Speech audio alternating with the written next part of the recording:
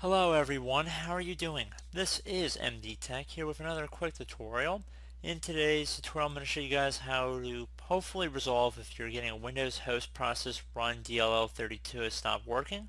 So this is a pretty generic issue but hopefully in this tutorial I'm going to go over a couple different ways on how to resolve it for you. And we're going to start by opening up the start menu just by left clicking on the start button one time and you want to type in control panel Best match should come back a control panel right above the desktop app. You want to left click on that one time. And then you want to set your view by up here. Change that to large icons. Now you want to left click on File Explorer options.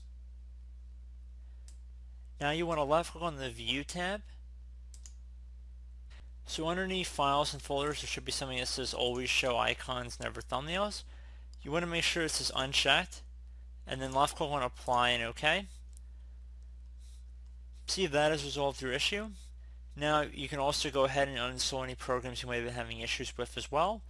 And as addition to all of that, if you go open up the start menu and we go underneath device manager,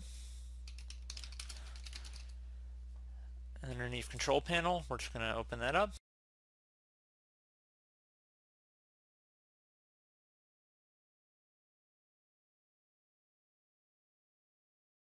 I would suggest going underneath display adapters right here, expand that with a little arrow next to it. Whatever display adapter is listed under here, you want to right click on it and left click on update driver.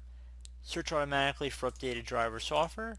See if that's resolved your issue hopefully and I would recommend restarting your computer after in either event. So I do hope this was able to help you out. You can also try going through system restore as well if you have any restore points, try and do a restore back to a recently created restore point and that would hopefully be able to resolve your issue as well. So I do hope this brief tutorial was able to help you guys out and as always thank you for watching and I do look forward to catching you all in the next tutorial. Goodbye.